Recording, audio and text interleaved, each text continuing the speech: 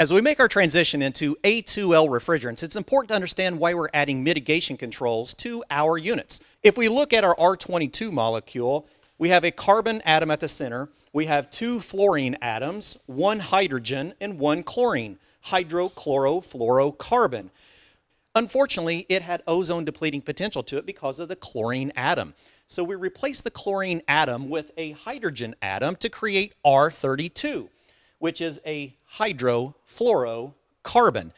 The downfall with R32 is that it is mildly flammable. So while most of the world was okay with R32 for the refrigerant back in the late 1990s, we weren't ready for that in the United States. So we blended R32 with R125 to create what we know as R410A.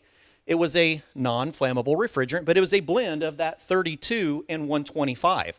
When we move into our new generation of refrigerants, we're going to see both R32 in its single constituent form, but then we're going to blend it with R1234YF.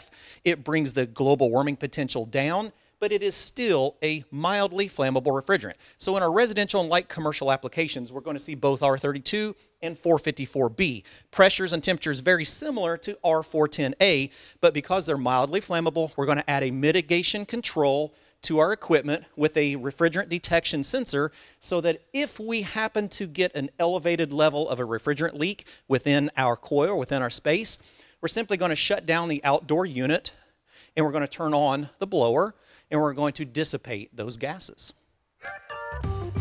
Get your periodic table poster with refrigerants at escogroup.org and select the online store.